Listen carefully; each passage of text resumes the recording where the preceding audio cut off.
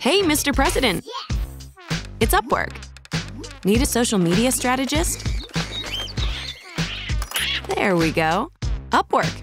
Whatever you need done, get it done with a freelancer.